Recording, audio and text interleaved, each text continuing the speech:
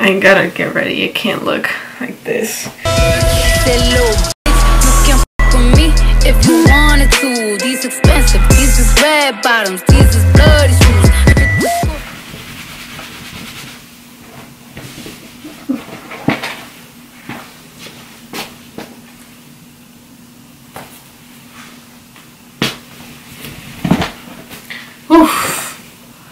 First, I'm going to be doing, I guess you can say hair product tutorial.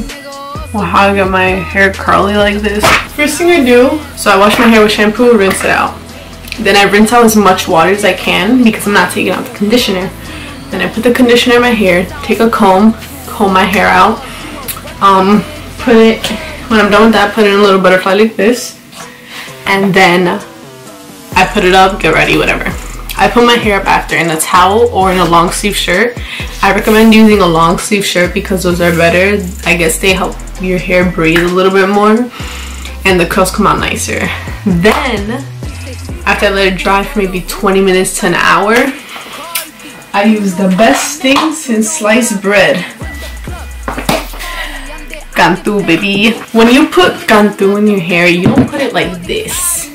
No, you flip your hair like this and you scrunch. So that's exactly what I'm going to do right now.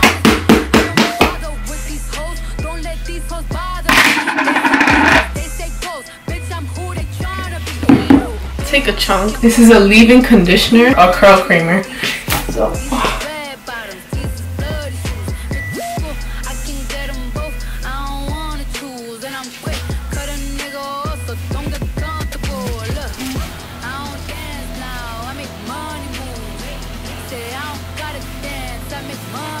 So, after putting cantu in my hair, I style it as much as I can.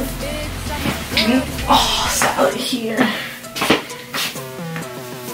I think I'm just gonna part it in the middle. Honestly, yeah. Then, you know, with whatever cantu is left on my fingers, maybe put my edges down a bit, whatever. I'm not really crazy about my edges, but ow. Okay, goes. Scrunch here, scrunch there, and here, the curly hair. I hope you guys enjoy this video. Make sure you like, subscribe, comment. If you don't, I don't care. But, thank you for watching this video. I hope you guys use Cantu and the right products for your hair. I will see you guys later. Kayla is out.